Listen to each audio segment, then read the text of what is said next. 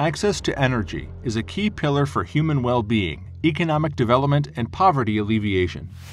However, our energy systems also have important environmental impacts.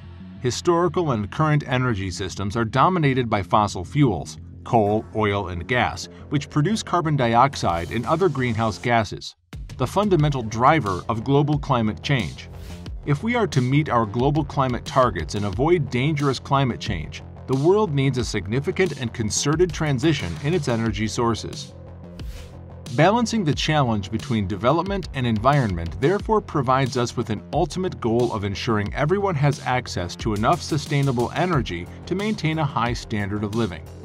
1. Solar power plants. Solar energy plants convert energy from the sun into thermal or electric energy using one of the cleanest and most abundant renewable energy sources. They generally do not require high maintenance and last for about 20 to 25 years. The International Energy Agency, or IEA, projected in 2014 that by 2050, solar photovoltaic and solar thermal would contribute about 16 and 11 percent respectively to the worldwide electricity consumption, and solar would be the world's largest source of electricity. However, initial costs involved in setting up solar power plants are high, and the installation of solar power systems requires a lot of space. Bhadla Solar Park is the world's largest solar park located in India, which is spread over a total area of 14,000 acres, or 57 kilometers squared, in Bhadla, India. The park has a total capacity of 2,245 megawatts, spread across more than 14,000 acres. 2. Wind power plants. In recent years, there has been rapid growth in the number of wind farms across the world, underpinned by technological advancements. As wind is naturally occurring source of energy, there are no limitations to harness its power. Operational costs involved in maintaining wind power plants are low after the erection of wind turbines, and they are generally considered cost-effective. Wind farms can also be built on agricultural lands without causing any interruption to cultivation activities. However, maintenance of wind turbines may vary, as some need frequent checks and wind power projects typically require huge capital expenditure. The Gansu Wind Farm Project, or Jiuquan Wind Power Base, is a group of large wind farms under construction in the western Gansu province in China. The Gansu Wind Farm Project is located in desert areas near the city of Jiuquan and also near Yumen City, in the northwest province of Gansu, which has an abundance of wind resources. The complex is operating at below 40% utilization of the current 8 gigawatts with a planned capacity of 20 gigawatts, now capacity is considered to be 7,965 megawatts. 3. Solar thermal power plants. Solar thermal is a system of giant mirrors arranged in such a way so as to concentrate the sun's rays on a very small area to create significant amounts of heat, thus creating steam to power a turbine that creates electricity. Noor Power Station is a solar power complex located in Dra Tafilalet region in Morocco. 10 kilometers or 6.2 miles from Ouarzazate town in Guessat Rural Council area. At 510 megawatts, it is the world's largest concentrated solar power plant. With an additional 72 megawatt photovoltaic system, the entire project is planned to produce 582 megawatts at peak when finished, and is being built in three phases and in four parts. The total project's estimated cost is around $2.5 billion. 4. Hydroelectric power plants. Hydroelectricity is produced by harnessing the gravitational force of flowing water. Compared to fossil fuel powered energy plants, hydroelectric power plants emit fewer greenhouse gases. However, the construction of hydroelectric power plants and dams requires huge investment. China alone accounted for almost one third of global hydropower capacity and added around 11.74 gigawatts of new capacity that year. The Three Gorges Dam on the Yangtze River in China is the world's biggest hydroelectric facility. It has a generating capacity of 22,500 megawatts, but over a year-long period, both dams can generate about the same amount of electricity because seasonal variations in water availability on the Yangtze River in China limit power generation at Three Gorges for a number of months during the year. The height of the Three Gorges is about 594 feet or 181 meters, and the length is about 7,770 feet, or about 2,335 meters.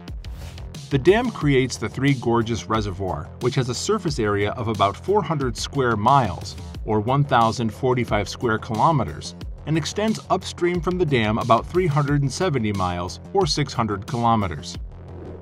Number 5. Coal-fired power plants. According to the World Coal Association, coal-fired power plants currently account for 41% of global electricity, with almost half of that coming from China alone. Coal-fired power plants use steam coal as source to generate electricity and consequently emit a significant amount of harmful gases into the atmosphere. In a bid to reduce greenhouse gas emissions, many developed nations have already announced plans to phase out coal-fired power plants. In November 2016, the Canadian government had announced plans to phase out its coal-fired power plants by 2030. In the same month, the UK government had outlined plans to phase out coal-fired power plants by 2025, with a plethora of other European countries following suit. The Tuoketuo Power Station is the largest coal-fired power station in the world. The plant is located in Togtoh County, China, and has a gross installed capacity of 5,400 megawatts. 6. Diesel-fired power plants. With diesel as fuel, this type of power plant is used for small-scale production of electric power. They are installed in places where there is no easy availability of alternative power sources and are mainly used as a backup for uninterrupted power supply whenever there are outages. Diesel plants require only a small area to be installed and offer higher thermal efficiency compared to coal-fired power plants. Due to high maintenance costs and diesel prices, the power plants have not gained popularity at the same rate as other types of power generation plants such as steam and hydro. The IPP-3, considered to be the world's largest internal combustion engine or ICE power plant, was recently inaugurated at the plant site near Amman, Jordan. The plant is powered by a 38 Wärtsilä 50DF multi-fuel engines with a combined capacity of 573 megawatts. In its 14-cylinder guise, this 25,480-liter, four stories tall turbocharged behemoth produces approximately 109,000 horsepower. Unsurprisingly, such a massive motor is used in gargantuan cargo container ships. Number 7. Nuclear power plants. Using a nuclear fission reaction and uranium as fuel, nuclear power plants generate high amounts of electricity. As nuclear power plants emit low greenhouse gas emissions, the energy is considered environmentally friendly.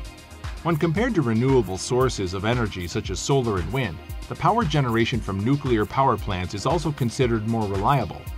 Though the investments required to set up nuclear power plants are huge, the costs involved in operating them are low.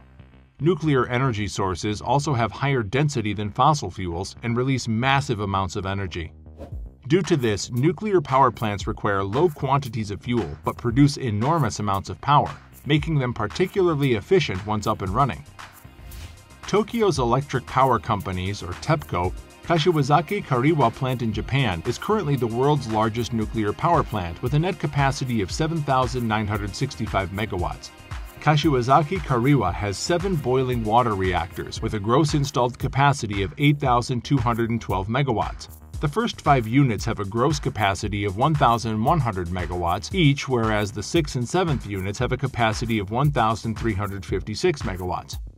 Operations at the plant were, however, seized in May 2012 due to the Fukushima nuclear disaster. TEPCO has been implementing measures at the plant to meet the new safety guidelines set by Japan's Nuclear Regulatory Authority. All the reactors of the plant are expected to be restarted by 2021. We hope you liked this video, and we want you to know which was your favorite.